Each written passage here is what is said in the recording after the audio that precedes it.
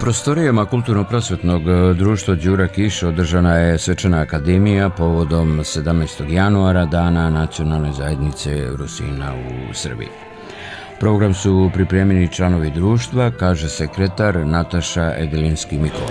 Društvo neguje tradiciju e, i kulturu Rusina. Za Rusine na ovim prostorima to znači jako puno, pošto e, danas ne može da se čuje rusinski jezik baš e, svugde, a mnogi ljudi vole da dođu ovamo, da čuju na, program na rusinskom jeziku, da dođu da se druže posle toga i da malo popričaju na svom maternjem jeziku.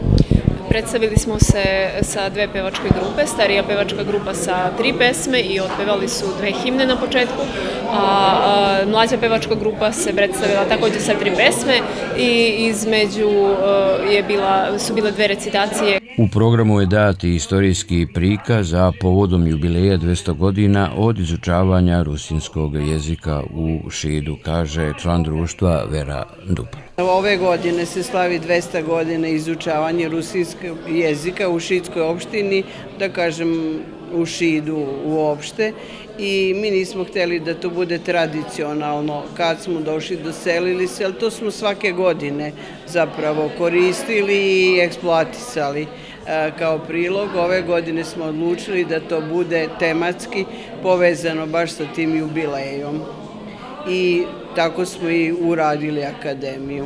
Tako da je prezentovano znači izučavanje, pre, prezentovano je korištenje ili ovaj, rusinskog jezika maternjeg, pravo, pravo maternjeg jezika.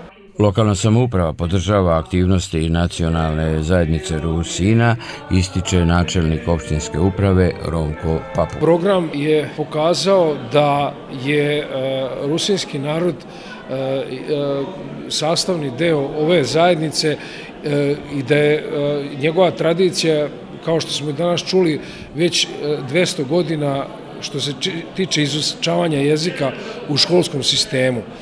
To pokazuje da i u nekom narodnom periodu opština Šid će takve stvari e, potpomagati, jer je to u interesu da e, svi zajedno ovu zajednicu razvijamo. Bio ovo prikaz Svečane akademije u Šidu, a povodom 17. januara Dana nacionalne zajednice Rusina u Srbiji.